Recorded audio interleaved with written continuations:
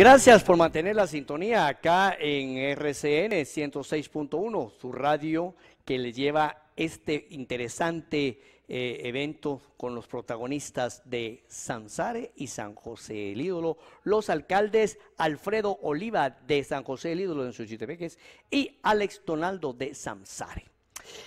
Hemos estado hablando fuera de cámara sobre algo que preocupa a todos y es la prevención de los desastres. Y la gente me dice, mire, es que no podemos controlar las, eh, grandes lluvias, no podemos controlar los eventos naturales.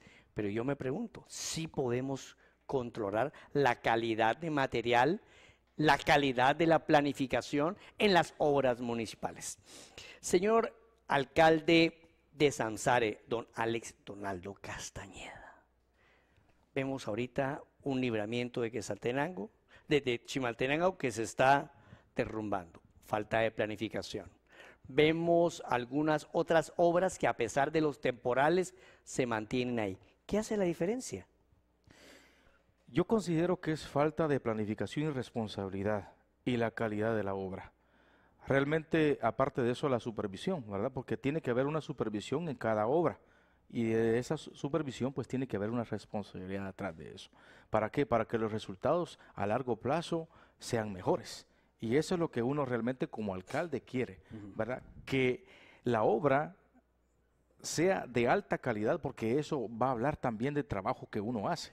¿verdad? Y tanto del, trabajo que uno hace como equipo dentro de la administración, como aquella empresa constructora que se dedica al tema, ¿verdad? Entonces sí es importante tiene que ser un buen trabajo tanto la municipalidad con la planificación como también la empresa que va a ejecutar.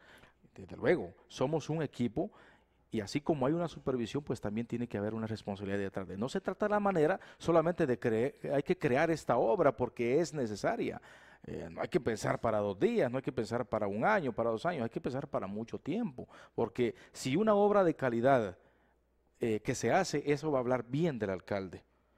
Si hay una obra de calidad, o sea, ¿qué elementos intervienen en una obra de calidad? Ya mencionó la planificación. Vimos en el terremoto de Huetenango que muchas casitas se cayeron porque el bloque era malo, el cemento era pirata, el hierro se dobló. ¿Qué me dice eso? Bueno, definitivamente necesitamos productos de alta calidad. Productos de alta calidad. Y hay que supervisarlos. Hay que supervisarlos. Aparte de tener productos de alta calidad que lleven el producto exactamente como debe llevar. Por ejemplo, si, si, si una obra tiene que llevar 100 bolsas de cemento, hay que ponerle las 100 bolsas de cemento. ¿verdad? No hay que ponerle 50, porque si le ponemos 50 debilitamos y eso significa que en poco tiempo se va a destruir. Entonces, sí necesitamos responsabilidad en todo. Señor alcalde de San José León, tres, dos periodos ya efectivos, terminados ya ha tenido ese, ese encontronazo con las constructoras, las productoras de adoquín, las productoras de blogs, los, los vendedores de cemento. ¿Qué es lo esencial al momento de decidir una obra, de, de, concesionar una obra o de realizar una obra como, como corporación municipal? Desde el principio, pues, el, el estudio. El estudio es muy importante.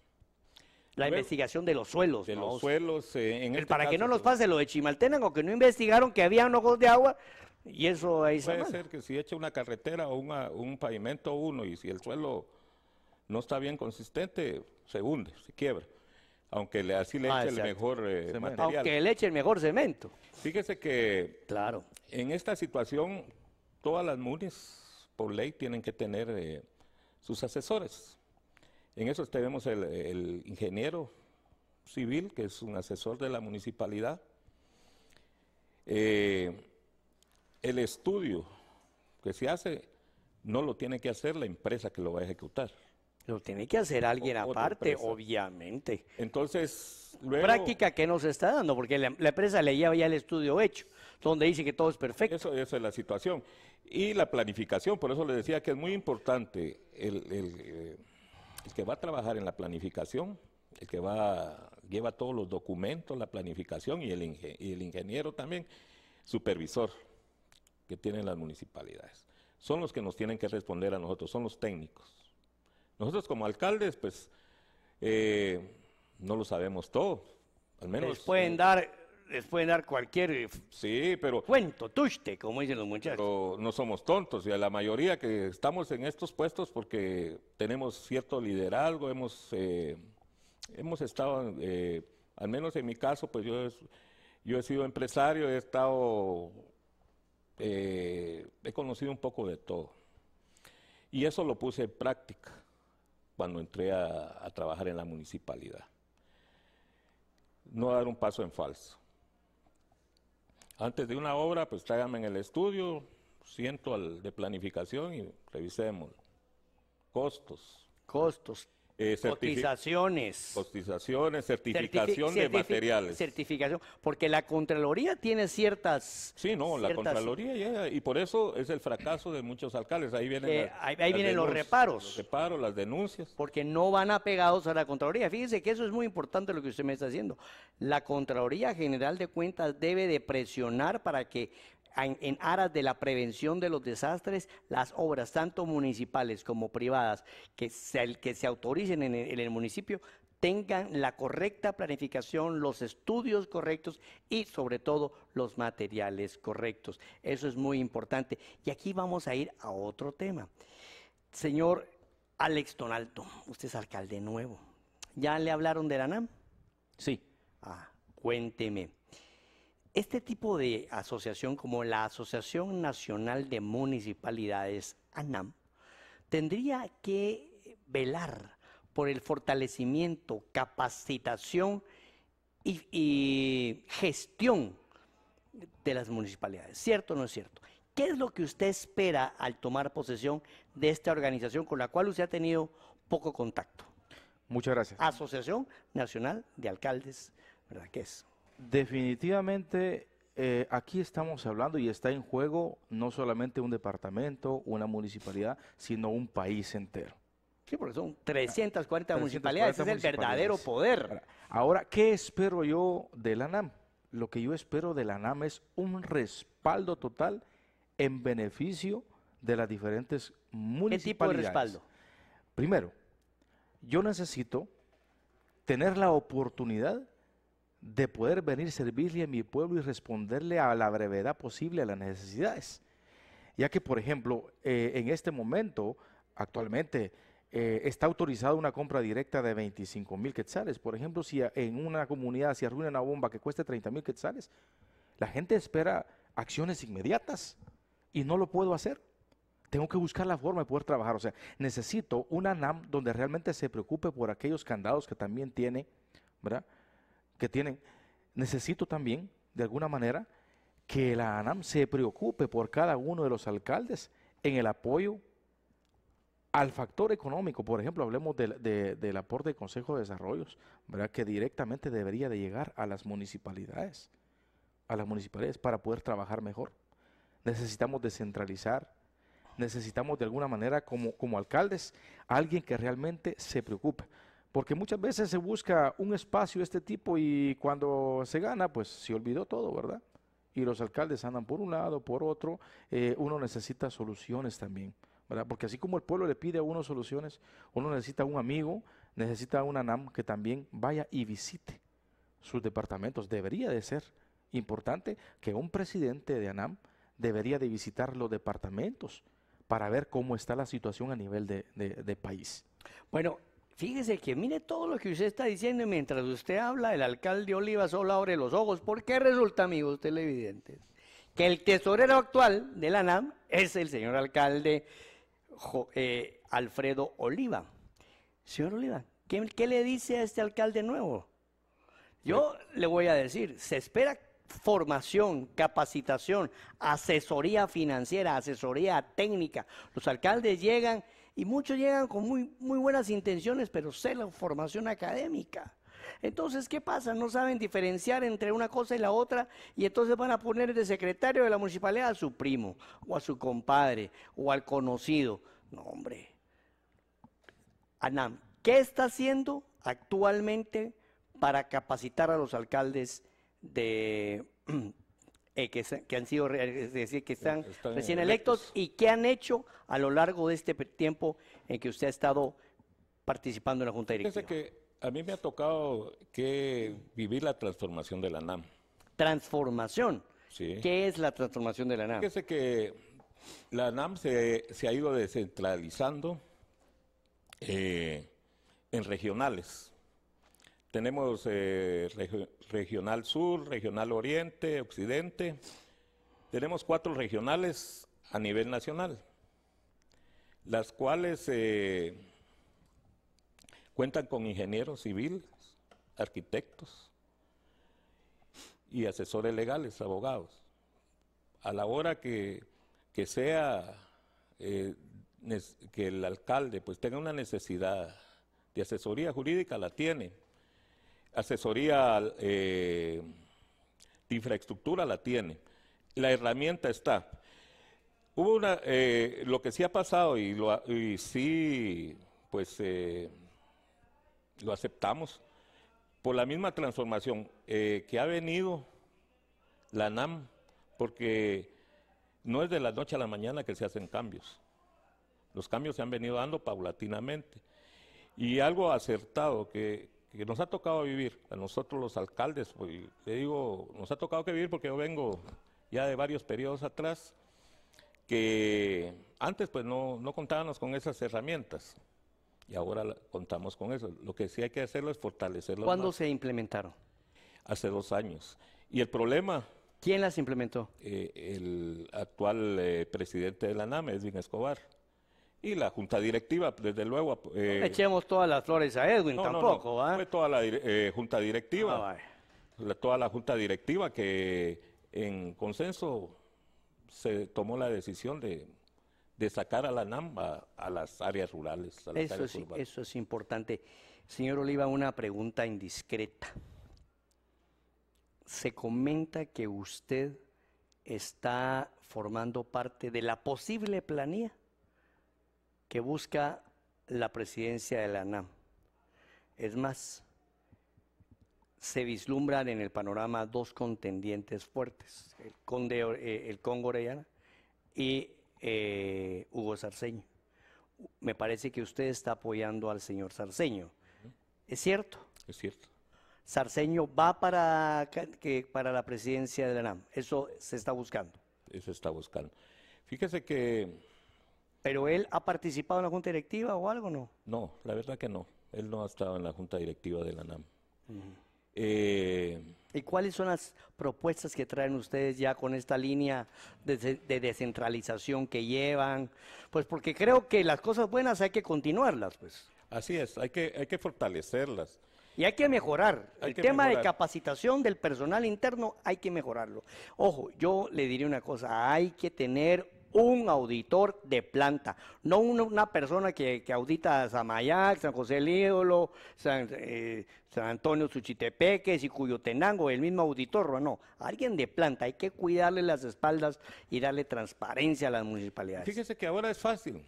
Ahora es No hay fácil. necesidad de, de ir hasta las municipalidades porque es obligación de cada municipalidad en la ley de acceso a la información subir toda la información al portal de toda municipalidad tiene que tener su página web. Entonces ahí ya Ah, pero no crea que todos tienen usted, hay unas que sí están, pero mi- mi- fíjese mis que vidas están tristes. Hay, hay denuncias por eso ante juicios a alcaldes que no tienen Ah, pero regresemos al tema. ¿Qué proponen ustedes? Pues nosotros se basa en tres ejes, ¿verdad? Capacitar a los alcaldes, darles co- acompañamiento, un acompañamiento que se sientan ellos, eh, que se sientan que, que están respaldados por la NAM, Ese es el primer eje. primer eje. Segundo, enlazar los problemas nacionales, municipales.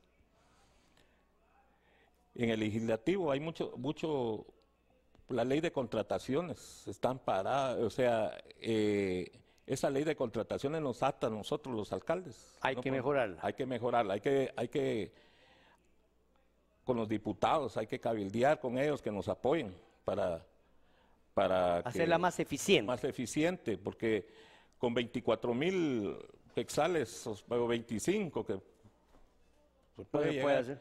no se puede eh, de una compra directa no, no se puede ¿eh? no Pero ese, puede ese es el segundo eje. ¿Y el tercero? decía el alcalde el tercero es eh, buscar la manera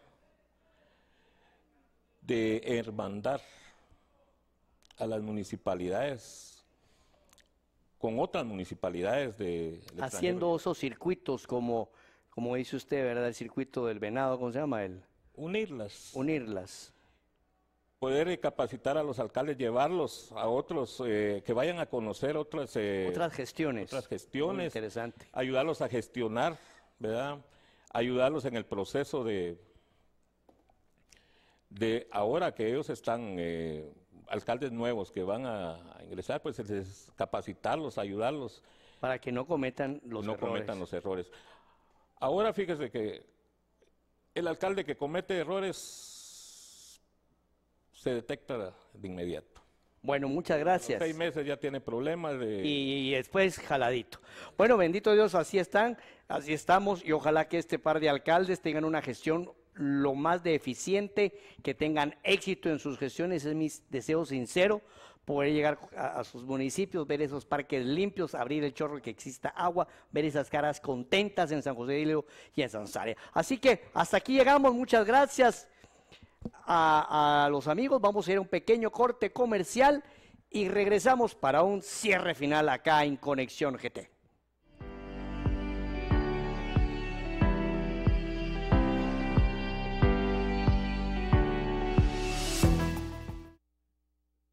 La Junta Directiva 2015-2021 y la Administración del Instituto Guatemalteco de Seguridad Social creamos el Plan Estratégico Institucional 2018-2022. Implementamos la política preventiva. De manera histórica consolidamos un listado básico de medicamentos con garantía de calidad y eficacia y logramos ahorros millonarios gracias a una gestión con honestidad y transparencia. Todo en beneficio de nuestros afiliados, beneficiarios y pensionados. El LIX está cambiando, el LIX está Ahora la red televisión será parte de tu móvil. Estará siempre disponible para que te informes de las noticias y el deporte por medio de tus diferentes dispositivos con la televisión que te sigue alrededor del mundo. Guateplay, la nueva aplicación de la red televisión. Descárgala ya en App Store y Play Store. Guateplay, la forma de conectarte a la red. Televisión en tu móvil. Somos deporte. Somos ejercicio. Somos rutinas de ejercicio. Somos alimentación. Somos la red Fit. Te llevamos la información para que tengas una vida plena y saludable con los consejos y entrevistas que te ayudarán a alcanzar tu propósito. Cuando pienses en abandonar, recuerda por qué empezaste. La red Fit. Sábados 9 de la mañana por la red televisión. Repetición domingos 7 de la mañana. El dolor es temporal. El orgullo es para siempre. Somos actitud. Somos la red Fit. Gracias al patrocinio de Fit Fresh, Everlast, GNC, CrossFit 502, Urban Runners by GNC, Fitness One, Arca de Noé, X Tonic y Unleash Your Fitness.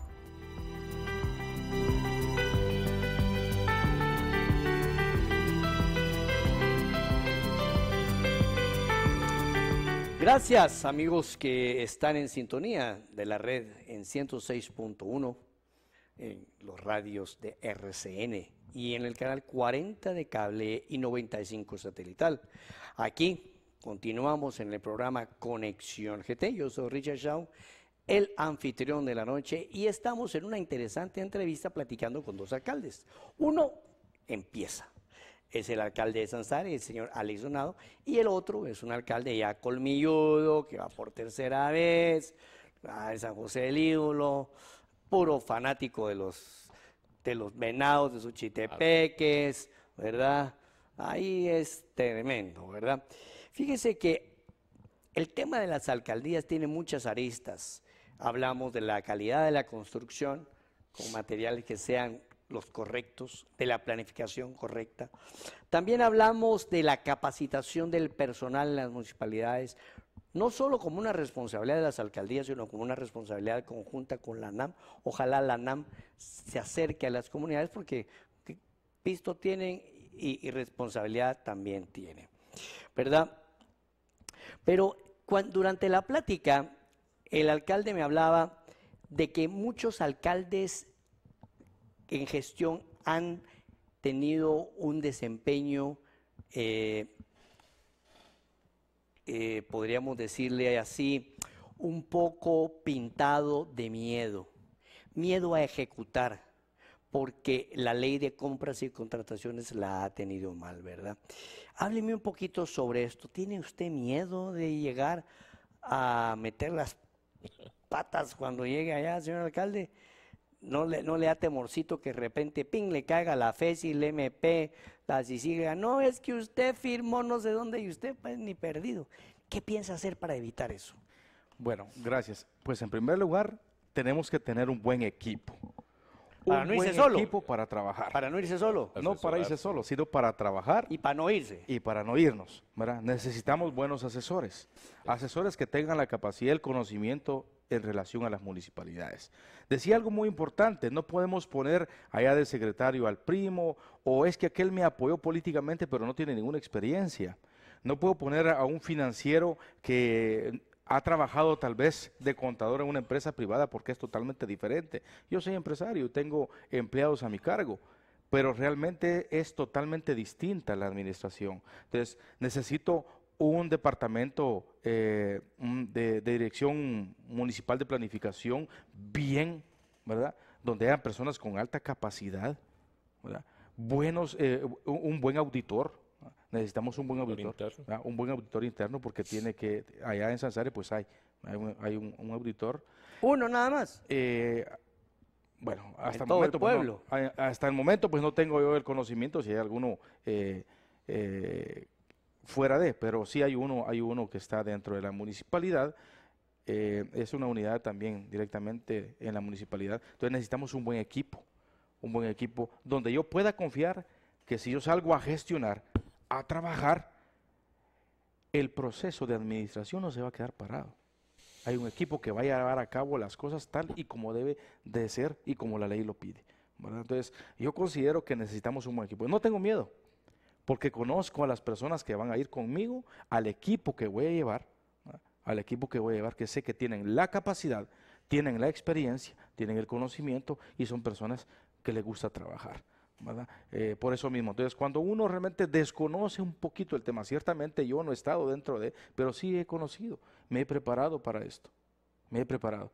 Entonces por eso no tengo miedo, porque conozco un poquito el tema y bueno, pues ahorita por el momento todavía no he cerrado mi carrera de abogado, me falta un año, ¿verdad? Y sí realmente me ha gustado prepararme al respecto y le pido a Dios, este año que viene lo voy a hacer, porque eh, realmente necesito estar empapado del tema de la administración pública, ¿verdad? Porque creo que eso es importante, ¿verdad? Un buen equipo, ¿verdad? Un buen equipo y un buen liderazgo como alcalde. Bueno, muchas gracias. Eh, hay cosas que a mí me llaman la atención, amigo usted evidente, y es el tema de las prioridades. Y es que muchos alcaldes, al igual que muchos presidentes y muchos ministros, gobiernan y hacen propuestas por capricho. Aquí decía un famoso escritor, aquí se gobierna por ocurrencias.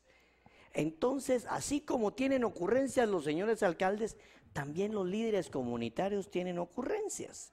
Yo recuerdo muy bien, eh, ahí en Patulula había un alcalde hace como 30 años que tenía un tema complicado. Y es que en una comunidad la gente lo que quería era un salón comunal.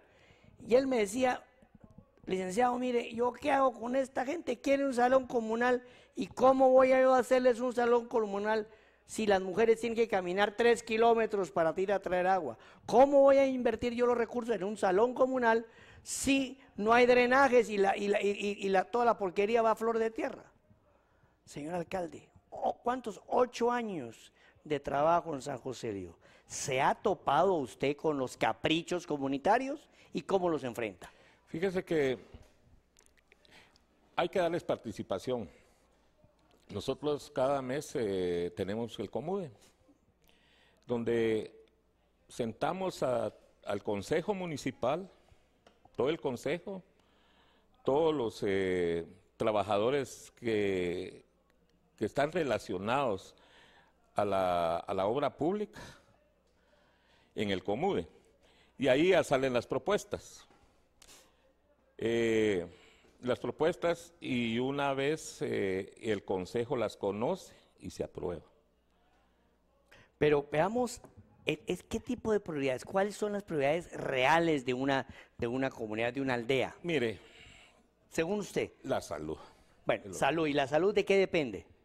De la agua y saneamiento.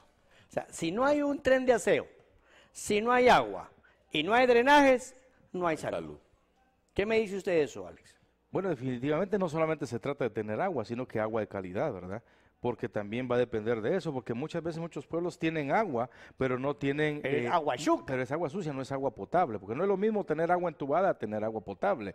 Entonces, eso también va encaminada a la prevención de la salud, porque también debemos de apostarle a eso. Claro, La- claro, La, claro. prevención en la salud, ¿verdad? Es importante. Muchas veces nos enfocamos a veces en, eh, en el mal, en lo que resulta por no prevenir la salud. Entonces, si yo soy un alcalde que quiero trabajar bien por mi municipio, me preocupo, voy a prevenir eso porque voy a rescatar muchos problemas a futuro.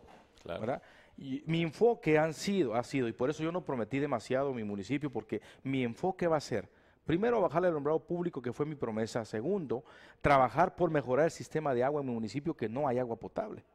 No hay agua potable, hay agua entubada, ¿verdad? Y sucia. En invierno es, eh, se mira mejor el chocolate, ¿verdad? Que el agua que llega a las casas. Entonces, sí es importante. Claro, hay un tren de aseo, pero necesitamos enfocarnos más allá, porque está el tren de aseo, pero cuando los camiones de basura van a descargar al área, es un hoyo, es un agujero nada más, eh, donde hay una gran irresponsabilidad porque vienen las bolsas y el aire se las lleva y, y- y parecen arbolitos de Navidad los árboles que están alrededor del basurero, porque están el montón de bolsas trabadas. Luego dicen, bueno, hay que anular la- la- las bolsas, hay que anular el plástico. Esa es responsabilidad del ser humano, no es el problema del, del plástico. El problema es la mala educación que nosotros tenemos. O sea, el trabajo que tenemos que hacer es eso, ¿verdad? enfocarnos en venir y prevenir lo que a futuro va a venir. Fíjese que muchas personas me dicen que con el tema de las prioridades, eh, los alcaldes chapines tienden a ser muy fiesteros y a invertir en cosas que realmente no tienen un eh, impacto directo en la salud o el, bienestar de los ciudadanos. Vemos a un Neto Brand que viaja con su equipo de fútbol, no se sabe si es alcalde o, entrenador de fútbol. ¿Ah? Vemos eh, a otros alcaldes que están muy metidos en la promoción también de su equipo de fútbol. Hay otras alcaldías, como la de Chela, que la feria de Quesaltenango es un evento eh, importantísimo. Claro, aquí ellos le han dado la vuelta para hacerla rentable, para generar turismo, etcétera, etcétera. San José del Ídolo, ¿cómo enfrenta usted esa necesidad de diversión y esa división de esa necesidad de diversión, de esparcimiento deportivo de la comunidad? ¿Hasta qué punto debe ceder un alcalde eh, eh, y sacrificar los recursos que podrían ser utilizados en agua, en alumbrado, en drenajes, ceder esos recursos para hacer una buena feria, para hacer un buen convite o lo que sea? Pues fíjese que, mire, Difícil. regularmente en los pueblos hay tradiciones. Y una es las fiestas del, del pueblo, ¿ah? del municipio, la fiesta patronal. le llaman. Ahí le esperan, como- los vecinos la esperan para celebrar, Pero no, que celebrarla, pero no poniendo en riesgo, le eh, no poniendo en riesgo los, los proyectos. ¿Cuándo es la fiesta de, de San José del Ídolo? Marzo, 19 de marzo. En marzo. Y estamos invitados, ¿no? Ah, claro. ¿Y qué va a haber? Hay de todo. Hay, hay de todo un poco. Bueno, esperemos. Ahí los invitamos, claro, y van a conocer. eh, Pero ¿ha tenido usted eh, problemas en cuanto a que los vecinos exigen de más? eh, No, gracias a Dios no. Pero sí tratamos de, de hacer, las, eh, hacer la fiesta, no una fiesta que vamos a llevar eh, Al bronco y a... broncos o a un... No, hay buenos grupos que buscamos lo mejor en, lo- en la posibilidad que tenemos. En el deporte nosotros le apuntamos más a, lo- a los jóvenes. Tenemos, eh, empezamos con una escuela de karate, de taekwondo, Incluso hemos ganado medallas a nivel nacional. Tenemos eh, ahí atletas que van a ir a, a- a representar a Centroamérica. Los agarramos desde pequeños. Eh, ahí se miran frutos, ¿verdad? Porque estamos eh, eh, introduciendo deporte, haciendo deporte a los jóvenes. no es no como en el fútbol, que se da en los equipos de fútbol, va que jugadores que se les pagan, oigo yo, las cantidades que se le pagan. Más que el alcalde. Más que el alcalde. Y ahí sí que, ¿y qué, ¿y qué beneficio le trae a la población? No le veo beneficio. Si en cambio se hicieran equipos o escuelas de fútbol de niños de- y campeonatos, eso lo hacemos nosotros allá en, el, en, el, en nuestro municipio. Campeonatos eh, de niños, eh, jóvenes y adultos. Bueno, qué bueno esto. Espero que sea de la misma opinión usted, mi querido eh, señor alcalde. Pero hemos llegado al final de Conexión GT. Ha sido un gusto tener a un alcalde nuevo, Alex Donaldo, y a un alcalde con experiencia, ya dos periodos, y va para el tercero, don Alfredo Oliva, ahora de San José del Ídolo y allá en Sansare, dos lugares completamente aparte. Y desde ya, la invitación pública al señor Hugo Sarceño para que venga acá y que nos cuente cuáles son sus planes. Así que si me escucha, señor Sarceño, o si alguien que lo conoce eh, nos está escuchando, dígale que aquí en RCN, la noticia, lo esperamos para que nos platique acerca de sus planes como posible candidato o candidato ya casi proclamado para la próxima Junta Directiva de la NAM. Mi nombre es Richard Shaw, muchas gracias por mantener su sintonía. Gracias, señores invitados, gracias, señores alcaldes, por estar con nosotros. A usted, amigos televidentes, y a ustedes, amigos que nos escuchan, feliz, feliz noche. Que tengan un placentero descanso y nos vemos en el próximo programa de Conexión GT.